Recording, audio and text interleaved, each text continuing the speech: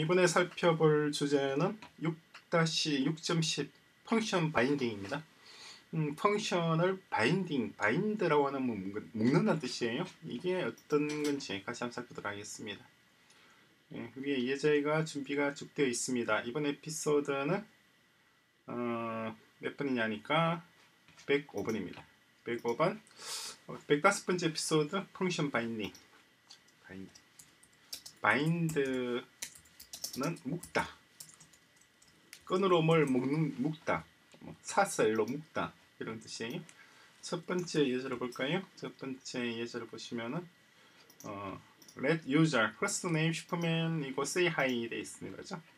user say hi 그리고 1초 뒤 set timeout을 주고 있죠. 타임아웃이 우리가 뭔지 아시죠? 1초 뒤에 user의 say hi 이걸 실행을 하라는 뜻이에요.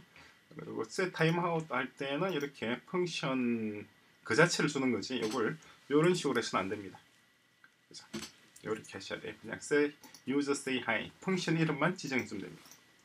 그래서 실행해 보면은 재밌게도 어떻게 되나요? hello undefined 된단 말이에요. 뭐 정말 재밌는 것이 user. console log 해보겠습니다. console log 할 거 없네. 그냥 user. say hi 를 실행을 해보죠. 이 경우 이 경우 1초 뒤에 이건 즉각 실행될 거고 이건 1초 뒤에 실행될 거예요. 마찬가지 이걸 한 번 더, 이거 뒤에도 한 번 실행해보죠. 그러니까 세번 실행을 시키는 겁니다.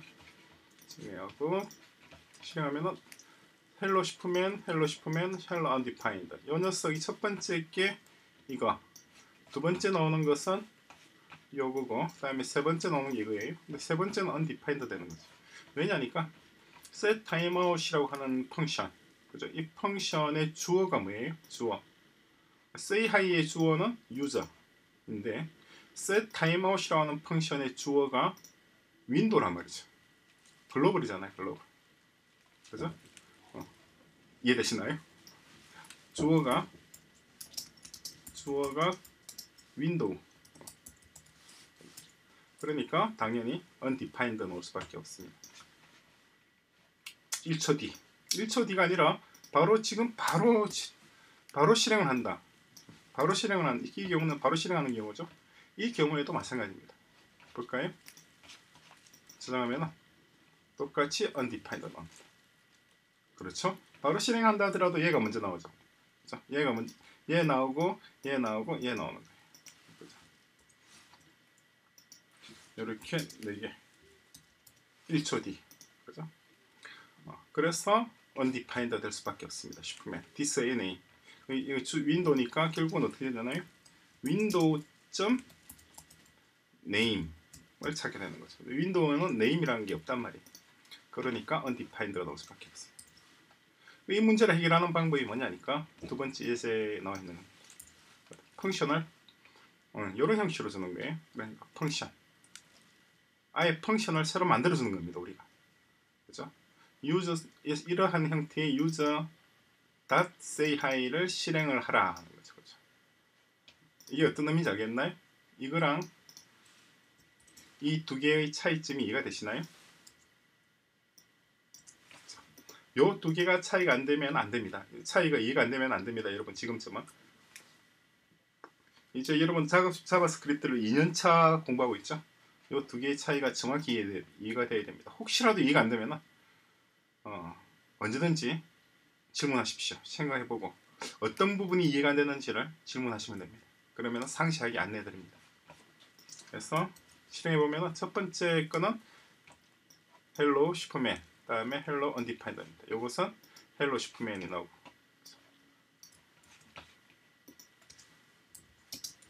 그리고 얘는 hello undefined 그게 요거란 말이죠. 이것을 조금 더 빨리 나오게 해보겠죠. 얘는 500 얘는 1초 주겠습니다. 그러면 좀 더 정확하게 구별이 되겠죠? 저장하면 첫 번째 거는 hello 슈퍼맨 다음에 0.5초 뒤에 hello undefined 그죠? 이걸 실행시키는 거예요. 이걸 실행시키게 되면은 user.say hi를 그대로 찾아가야 되죠. 이때는 say hi의 주어가 누구죠? user가 되잖아요. 그죠? 인위적으로 주어를 만들어주는 겁니다. 이해되시나요? 인위적으로 인위적으로 say hi의 펑션의 주어를 유저로 설정하는 방법 요겁니다. 그렇죠? 자 그리고 밑에 있는 것은 만약에 만약에 음, user 요걸 이렇게 하면 어떻게 될까요? 이렇게 어, 이렇게 하면 어떻게 될까요? 그 user의 user에다가 어, 새로운 object를 하나 할당을 한 겁니다. user 조금 뭐가 복잡하게 되어 있는데 요걸 정리 좀 하겠습니다. 이렇게 되어 있다.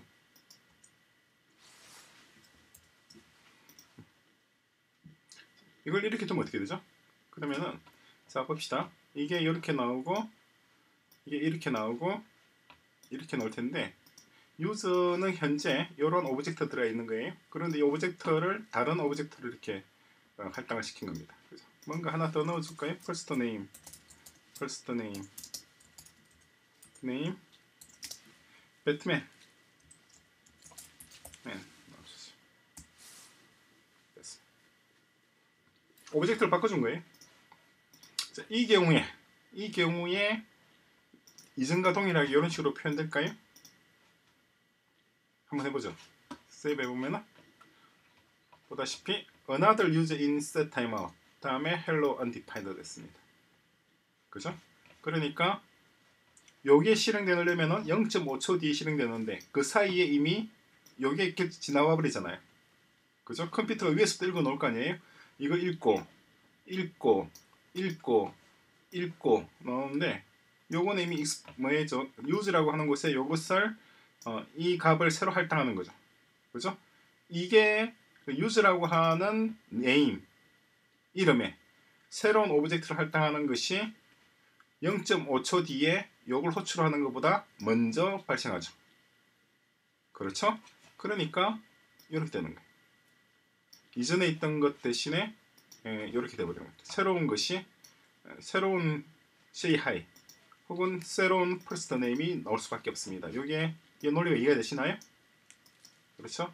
그럼 그렇게 안 되게끔 처음에 처음에 요 setTimeout이나 할때 어, 뭐라고 뭐라고 해야 되나요? 이 function이 딱 고정되도록 그죠?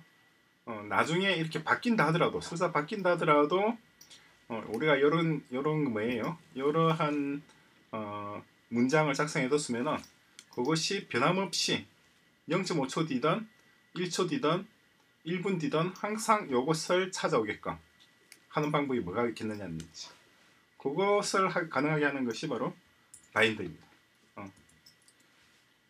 떻게 진행되는지 보겠습니다. 세 번째 예제입니다. 세 번째 예제가 이거죠. 자 이번에는 first name 슈퍼맨이고 그 다음에 펑크 펑크 is first name 됐습니다. 그렇죠? 그래서 우리가 예전에 어떤 object와 그리고 function을 서로 어울리게 하는 방법이 있었죠. 어울림 기억나시나요? 38번 에피소드에 38번 에피소드 38번째 에피소드가 바로 어울림이었잖아요. 어울림의 방법이 있었는데 그러한 방법을 해주는 또 하나의 방법이 bind라고 하는 거예요. 그러면은 어, 예를 들어서 이 func, 이 func를 user라고 하는 object와 서로 묶어주는 겁니다. 이렇게 해주면은 이 녀석과 이 녀석이 딱 묶이게 돼요. 묶여서 그 결과적으로 나오는 것이 func user라는 것이 만들어지게 됩니다.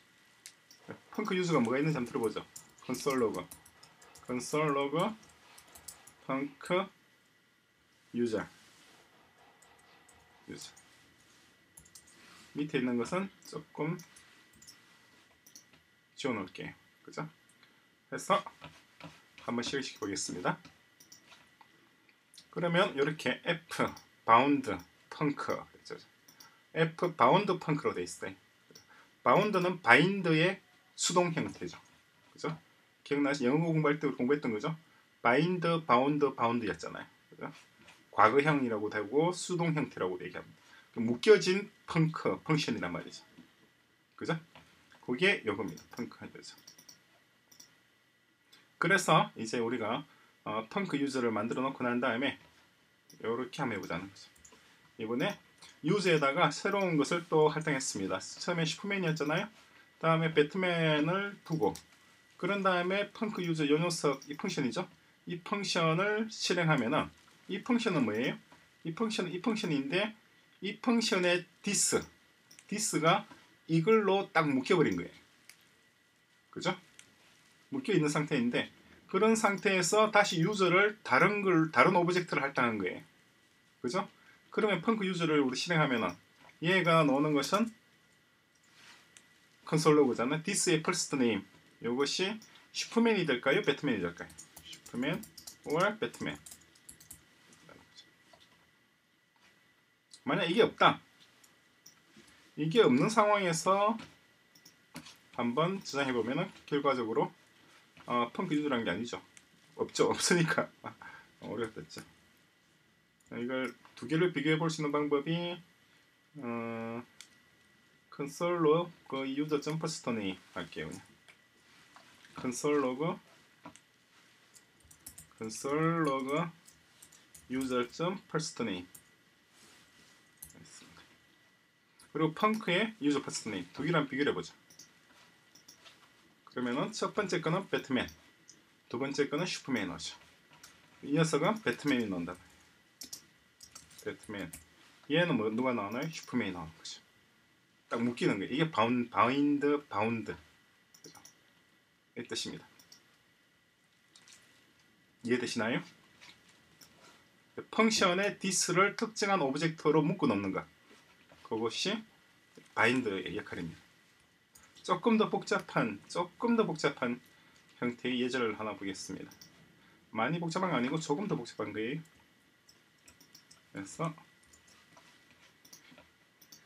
자 이번에는 슈퍼맨이 있고 다음에 say hi 마찬가지 this가 나왔습니다. this의 first name 또 say hi user의 say hi 요거죠. user의 say hi를 bind에서 user로 해둔 user 그렇죠. User라는 object에 묶어 놓은 겁니다. 이 object죠. 그럼 say hi입니다. say hi를 하면은 hello 슈퍼맨이 나오겠죠. 그죠? user의 first name을 근데 바꿔준 겁니다. user의 first name을 배트맨으로 바꿔준 거죠. 그죠?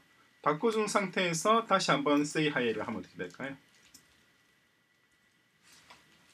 바꿔준 상태에서 say hi. 또 function을 지워놓고. 자, 한번 생각해 보십시오. 어떤 게 될까요? 여기서 hello 다음에 넣는 것이 어, 배트맨이 나올까요? 아니면 슈퍼맨이 나올까요? 보시죠. 여러분 생각대로 맞는지 보십시오. 보십시오. 슈퍼맨 첫 번째는 슈퍼맨 나오고 슈퍼맨 나왔죠. 두 번째는 배트맨이 나왔습니다. 그죠? 분명히 bind 했는데 왜 배트맨이 나올까요? 이유가 뭐죠? bind 가는 것은 function과 object를 bind하는 거예요. function and object object입니다. bind not function and uh, properties of an object on a property of an object object와 function을 묶어 놓는 거지 function과 function의 property를 묶어 놓는 게 아니라는 거죠. 이거는 function의 property입니다. property죠. property. 그죠?